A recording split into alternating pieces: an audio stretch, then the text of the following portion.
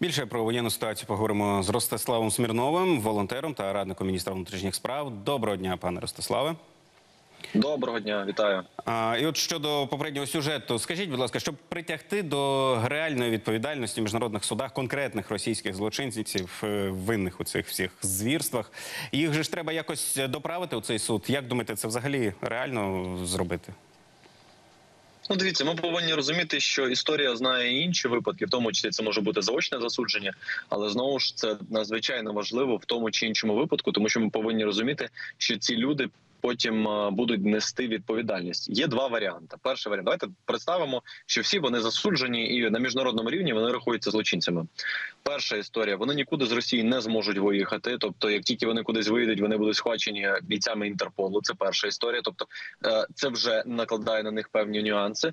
Друга історія, про яку ми повинні розуміти, я би не скажімо, не відкидував той факт, що в Росії зміниться уряд, зміниться президент, і там умовно через декілька там не знаю, можливо, пару, можливо, десятків років буде певна співпраця між е, нашими країнами, і в тому числі ми повинні розуміти, що такі злочини, військові злочини, не мають терміну давності, і там тоді ми зможемо передати всю доказову базу, і ці люди понесуть все одно відповідальність, навіть будучи в своїй країні. Тому ми однозначно повинні отримати цю другу нашу перемогу. Перша буде як я постійно повторюю на полі бою, завдякуючи нашим зсу. А друга на юридичному фронті. Ми всі прекрасно пам'ятаємо досвід Другої світової війни, коли весь цивілізований світ знав, хто такі нацисти і фашисти.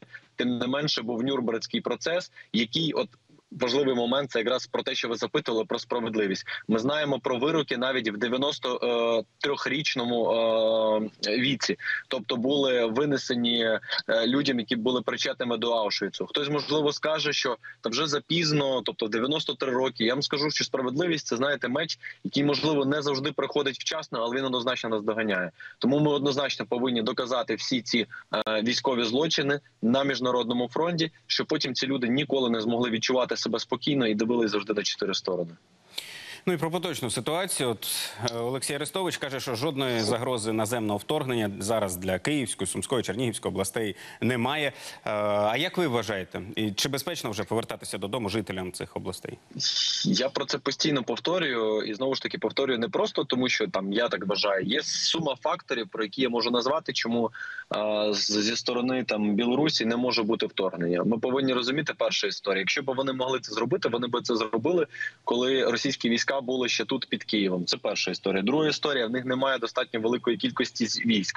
Всі війська Білорусі це там 45 тисяч е, бойових. Це реально тисяч 20, але ми повинні розуміти, що є там пісарі, не пісарі, там штабні і так далі. Е, Реальний там потенціал 10 тисяч. Цього абсолютно замало. Кожен вам військовий експерт скаже, що цього взагалі недостатньо для того, щоб заходити зі сходу. Тобто Росія з набагато більшим озброєнням і кількості військ заходила е, з півночі нашої країни і не досягла е, жодних результатів. Е, потім ми повинні розуміти склад цих військ. В Росії в Білорусі немає контрактної служби. Там одні строковики, які не мають такої мотивації.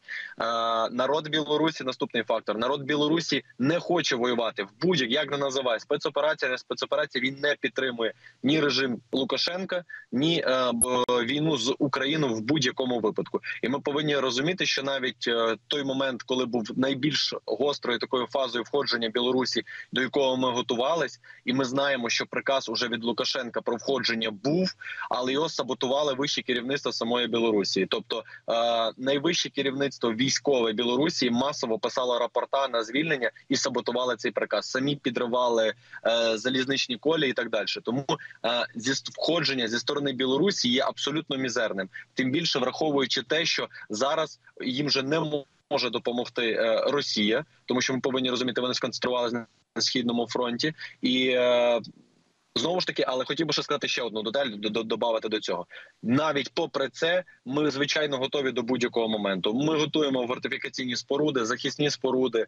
Ми е, маємо там запаси військ, які в будь-який момент готові зустріти ворога. Тому я би хотів заспокоїти, але знову ж таки, якщо представити всі ці фактори, проаналізувати.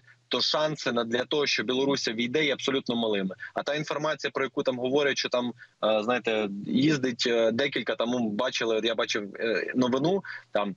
Біля кордону побачили 4 БМП. Хто просто знає, що таке БМП і що таке 4 штуки з військової точки зору, той би просто якби навіть не, не, не читав цю новину, а просто би прийшов далі. Тому знову ж таки це не більше, не менше ніж відволікання нашої уваги. Сказати, що от ми готуємо зараз е, е, напад з півночі знову, щоб ми там відтягували певні свої резерви і наші бойові одиниці. Зі- Але знову ж таки я зрозуміло. хочу сказати, що ми і готові, і цього не передбачається. І щодо відновлення життя на цих колись окупованих землях, е, питання до вас як одного з засновників е, проєкту Добробат, наскільки я знаю. І е, до речі, волонтери цього проєкту е, допомогли конкретно моїй колезі в одному з сіл на Київщині. Відновили Дякую. її подвір'я. Скажіть, як Дякую. успіхи із ним? Чи багато людей долучається? Кого більше професіоналів, будівельників чи е, любителів, так би мовити? І де найбільше роботи? По різному, по різному, тому що різні типи робіт, коли були більше розбори завалів, то звичайно було більше е, людей там. Абсолютно будь-яких ситуацій, тому що потрібна була просто там умовно фізична праця.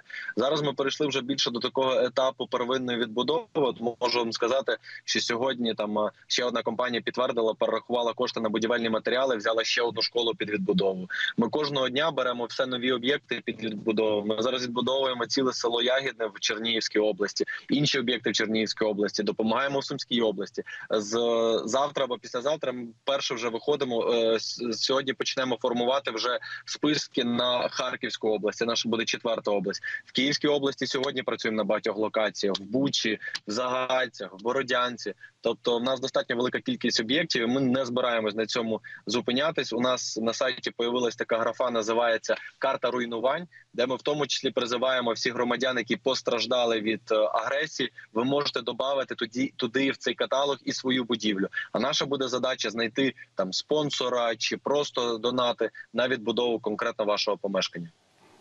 Про подальше звільнення території ще поговоримо на деяких напрямках. ЗСУ йдуть у контрнаступ. Зокрема, просунулися на 5-10 кілометрів в Запорізькій області. Звільнена частина там Херсонщини. Е, Як думаєте, це тенденція до масштабного наступу, чи е, просто поки що окремі контратаки? Давайте будемо говорити відверто. Не хочу займати шапка закидательством. Це я би сказав е, більше такі. Точкові наші контрнаступи це точно не передмова великого контрнаступу, тому що великою передмовою контрнаступу може бути тільки постачання е, військової зброї достатній кількості для України. Про це вже писав і радник голови офісу президента Подоляк. Він вказував навіть конкретні цифри, що нам необхідно.